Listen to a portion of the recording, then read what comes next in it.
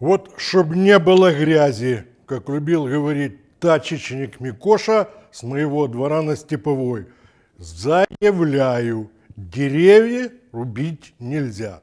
Исключение, разумеется, составляют случаи, когда тополь, акация или какой-нибудь другой ствол полностью прогнил и угрожает жизни окружающему его люду. Теперь о происшествии, произошедшем в конце прошлой недели. Возмущенные вырубкой зелени на территории бывшего дома приема в мэрии, некоторая часть одесситов перекрыла движение по Генуэзской улице. В основном жители домов, расположенных на Гагаринском плато. Ситуация, описанная в некоторых местных средствах массовой информации, напоминала фронтовую сводку. Цитирую. 18 часов 24 минуты. Если первоначально протестующие пропускали общественный транспорт, то потом, когда к ним не приехал ни один чиновник, решили этого не делать. Сейчас они блокируют движение трамваев и троллейбусов. 18 часов 36 минут. Прибыл глава Приморской райадминистрации Марат Королев. Предлагает протестующим встретиться завтра в администрации, где ответственные чиновники ответят на все вопросы. В свою очередь пикетчики уверены, что чиновник их разводит. 19 часов 15 минут. Протестующие разблокировали Генуэзскую в обмен на обещание председателя Приморской райадминистрации завтра встретиться с инициативной группой. Но на этом дело не окончилось. Снова цитирую местные СМИ. Спустя день активисты снесли забор, возведенный вокруг строительной площадки на Гагаринском плато 4. Своими действиями активисты обеспечили доступ полиции и экологам для проведения следственных действий и подсчета ущерба от массовой вырубки деревьев. Несколько часов значительная часть города стояла в пробке. Некоторые подсчитали время – около 4 часов.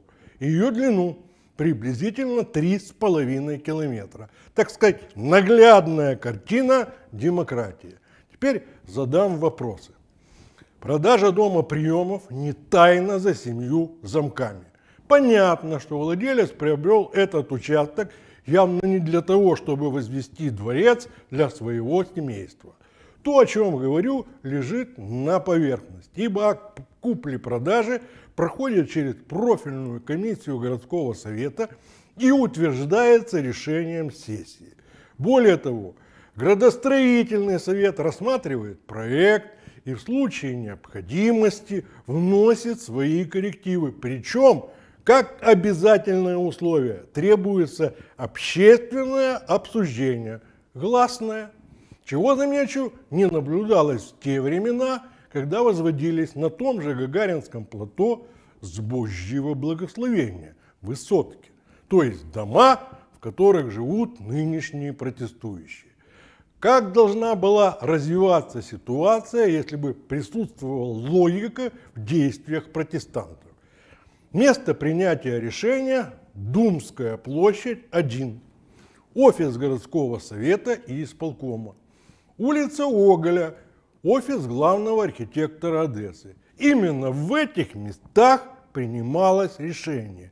Никакой председатель райадминистрации к этим документам не имеет никакого отношения. Полагаю, что в числе протестующих, перекрывших Генуэзскую, были люди, понимающие, знающие положение дел. Но они упорно проявляли все черты, присущие не демократии, а ахлократии, власти улицы, толпы.